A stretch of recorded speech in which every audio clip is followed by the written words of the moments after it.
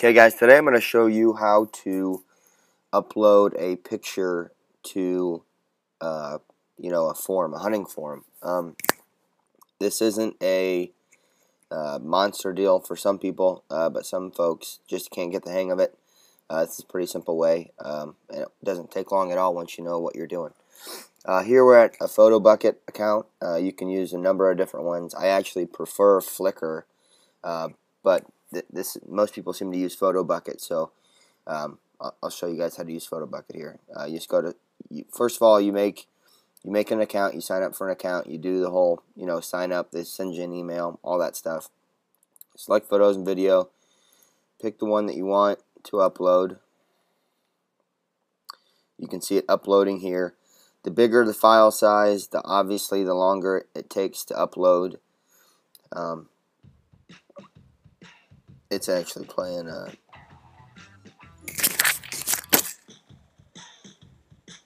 I go to view album or I can upload more.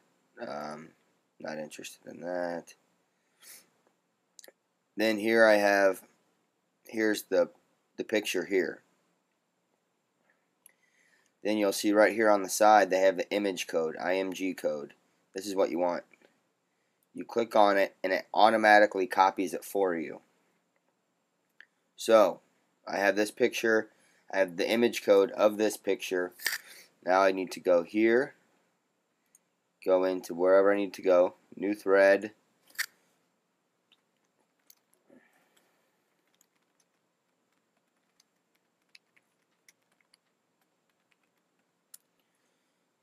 then all I simply do is paste that into and there's the picture right there. Hit submit new thread and go into general discussion how to post a picture tutorial. And here it is right here. Uh, pretty easy pretty simple.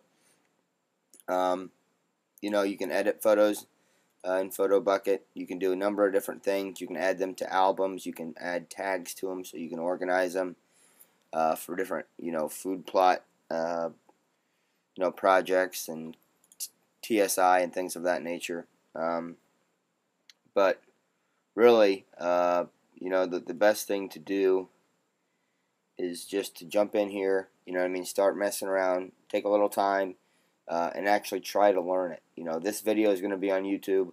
There's probably other videos on YouTube that show you the exact same thing.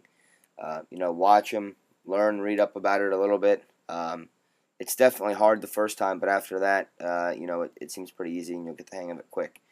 Uh, but that's it. Um, you know, pretty simple. Check us out, outdoorfreaks.net. Later.